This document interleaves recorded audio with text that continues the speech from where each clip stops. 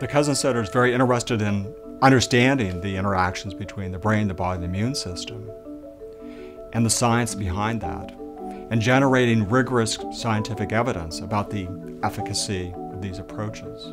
I think this center is one of the few places, if not the only place, where we're really looking at this interface between neural and immune processes, but doing that in a clinical context. It's an interdisciplinary center, really before the notion or the kind of catchwork of interdisciplinary became sort of used. And this particular center has brought together leading scientists to ask how the brain and the body interact to impact the immune system. But more importantly, what are the impacts of these interactions on disease progression and the likelihood of developing disease? And secondly, we've really taken really groundbreaking steps to understand what we can do about it. The way our research informs the mind-body link is really to map out the molecular mechanisms, the specific biological gears and pulleys that allow our experience of everyday life to change the way disease unfolds in our body. Part of the reason it's important to do this kind of work is it helps us understand what's going on in the black box of epidemiology, how differences in life circumstances can turn into differences in disease, and why that actually makes sense given our evolutionary heritage. My research focuses on mind body interactions, and we study those primarily in the context of cancer. So, most of our work is trying to understand things like what are the pathways through which stress can get inside the body and potentially impact things like tumor development and progression. We also are very interested in trying to understand how changes in the immune system can influence the brain and behavior, leading to symptoms like fatigue, cognitive problems that plague cancer patients and survivors. One of the things that I've been studying for the past several years is how our brain processes basic social emotional experiences. A lot of work has shown that there's this relationship between inflammation and depression, but all of this work has been primarily correlational. And so one of the things that we're doing in our research is we're actually looking at this experimentally so that we can tell whether the inflammation is causally increasing depressive symptoms. We've been very interested in how stress impacts health outcomes, and one of the most striking areas of research has been how stress leads to infectious disease. And we've been really at the forefront showing that major depressive disorder and sleep problems lead to changes in the immune system that are critical for protection against infectious disease.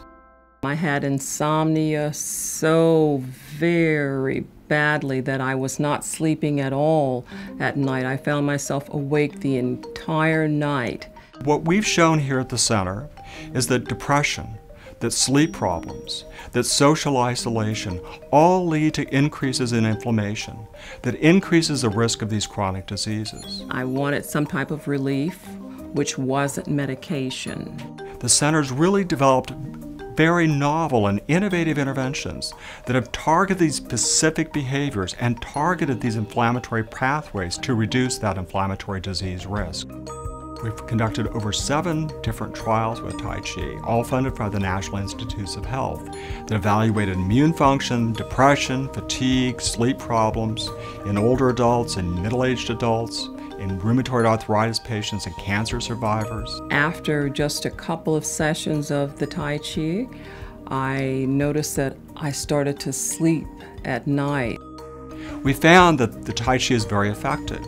We see a significant decrease in inflammatory responses when we measure them by the proteins that are circulating in our blood, inflammatory responses whether we measure them at the level of the single cell, and there's a decrease in inflammatory gene expression.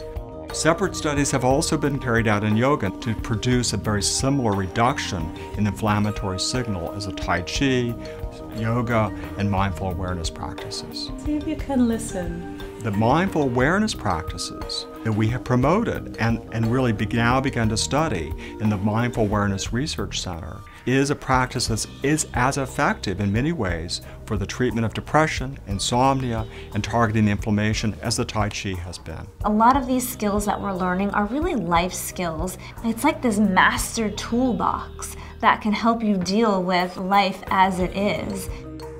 So the next major step is to disseminate this information.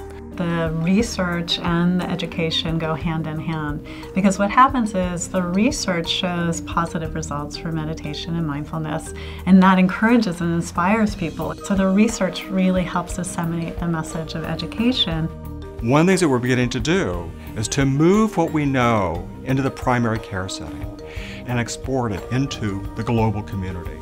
Over 120,000 people are taking our online courses.